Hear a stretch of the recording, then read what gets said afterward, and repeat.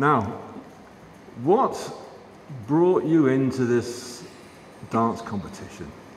What really brought you into this? Well, for myself, I was very honoured to be um, a guest on the judges' table last year, um, courtesy of Gerard and his family. And I was sat with the lovely Bob Warman and Lord Digby Jones. Um, and after a few glasses of wine, I thought, oh, I'll be up there next year. Um, looking, it looks very easy. How wrong was I? Um, I pestered and pestered Gerard to be my dance partner, and um, he turned me down. So um, I then met the lovely Granville Orange at the Worcestershire Ambassadors last year, and we realised we'd known each other for over 30 years. And I used to deal with all Granville's advertising 30 years ago. So then I started pestering Granville. and after a lot of persuasion, Granville said yes, he would be my dance partner.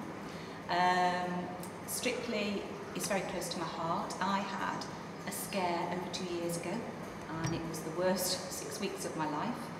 I've had very close families and friends that have been touched by this awful illness, and I just want to raise awareness and raise money, so I'm very honoured to be up there dancing in Strictly this year. Um, I also volunteer, I help St Richard's Hospice, and I do a lot of their fashion shows for them. And I've equally worked on the inpatient at St Richard's Hospice. So for me to be dancing is absolutely wonderful, and I hope we raise lots of money. And Granville, what's, uh, and how, where's your coming from this, this angle? A different story, Max. Um, Gerard um, invited me to participate in the first Strictly in 2014 when I was chairman of Worcestershire Ambassadors. And I kindly declined in that uh, I've never danced before, I'm known for my two left feet, and I didn't want to make uh, a fool of myself or anybody else, so I declined politely. He then invited me to participate this year, and again I declined. And then at the Ambassador's Ball, as Julie has mentioned, we met each other, um, that was early October 14.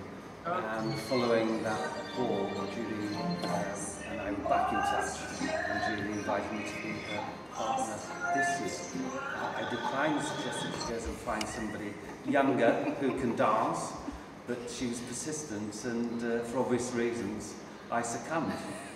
And, uh, and then we, um, we, we, we then partnered up with Deb, and we've been having dance lessons with Deb since December. December, November, So December. here we are, Max. So here we are. Yeah. I'm finding it incredibly tough. so that Yes. night I said, that's easy. Hats off to all those lovely contestants last year because they made it look so easy, didn't they? Mm. But my goodness, it's not. Is it, Deb? And Deb, wh- wh- how did you get involved with this? Um, well, I was expecting to do a private lesson, not not knowing really what for or, or why. Um, and then when I met Julie and Granville, they, um, they said they were going to appear on the Strictly Worcestershire competition. So I thought, oh, I've got my work cut out for me now. I've not done it before, not done anything like this before. So um, it was a real great challenge for me to um, choose some choreography for them, music as well, and tell a story as well within the dance. So it, it was a great challenge for me, and I've enjoyed every minute. Good. So all of you, you're you're looking forward to the, the, the event. Uh, it's only a few weeks now.